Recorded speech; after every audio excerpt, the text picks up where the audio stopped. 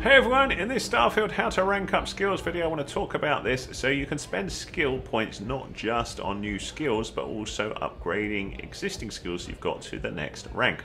Just hit the pause button, go to your skills and what you need to be looking at is whether you've fulfilled the challenge of whatever one you've got. So you can see this one says challenge progress 0 of 5. So you first of all unlock the skill. This one you can see I've got 2 of 5 so I still need to pick another 3 locks to finish this one. This one, the boost chaining though, I have done this one so I can rank up this skill or upgrade this skill. So to do that, select the skill, so for me that's A, and then you can see it says rank 2 available, and all I need to do to rank up is hit that button. So what it says then is it says using a boost pack expends less fuel. Cool, let's rank it up. So we just hit A or whatever button it shows just down there, do that, and we're done.